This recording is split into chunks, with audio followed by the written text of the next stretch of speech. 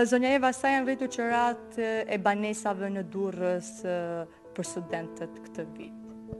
Duke ditur që Durrësi është qyteti i dytë i rëndësishëm i Shqipërisë dhe ka universitetin më të madh mbas Tiranës me rreth 20.000 studentë, çmimet e qërave të pronave kanë pësuar rritje.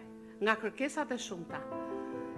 Por kjo rritje vjen si pasojë e tërmetit, e pandemisë dhe e situatës në cilën ndodhemi tani.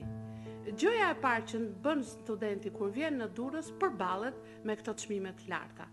Sigurisht buxheti i tyre, sakrificat e familjes nuk ja motivojnë këtë.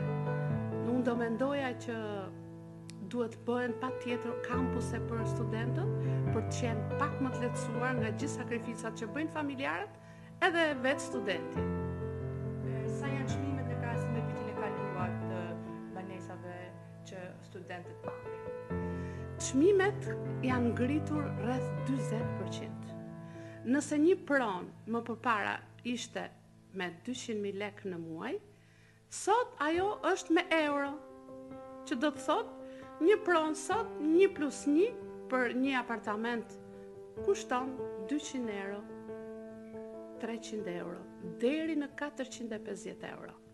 E çfarë ka ndikuar që janë rritur kaq shumë çmimet e banesave? Pikësëpari do thoja tërmeti.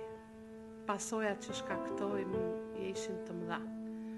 Shumë banesa akoma nuk janë rikonstruktuar.